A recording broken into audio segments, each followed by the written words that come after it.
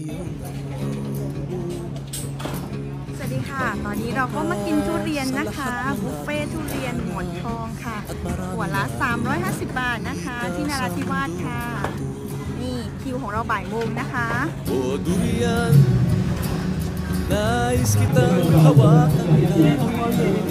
อีทุเรียนของเราก็มาแล้วนะคะ นี่สวยๆเลยนะคะ เดี๋ยวเราลองชิมนะ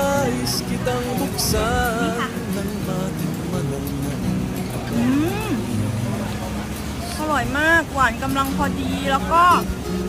เนื้อนุ่มละมุนลิ้นมากเลยค่ะ สนใจมานะคะ วันนี้ถึง6โมงเย็นเลยเจานที่สองนะคะกรอบนอกนุ่มในนะคะนี้ เดี๋ยวลองมาดูนี่ยังไม่หมดเลย